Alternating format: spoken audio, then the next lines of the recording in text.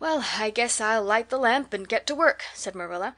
"I see plainly that you don't want to hear what Miss Stacy had to say. You're more interested in the sound of your own tongue than in anything else."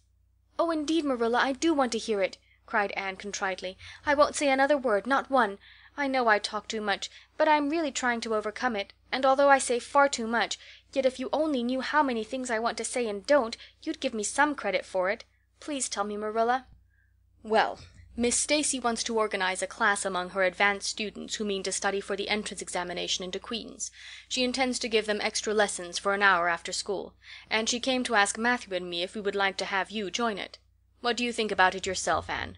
Would you like to go to Queen's and pass for a teacher?" "Oh, Marilla!" Anne straightened to her knees and clasped her hands.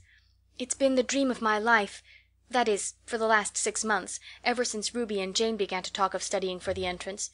But I didn't say anything about it because I supposed it would be perfectly useless. I'd love to be a teacher. But won't it be dreadfully expensive? Mr. Andrews says it cost him one hundred and fifty dollars to put Prissy through, and Prissy wasn't a dunce in geometry." "I guess you needn't worry about that part of it. When Matthew and I took you to bring up we resolved we would do the best we could for you and give you a good education.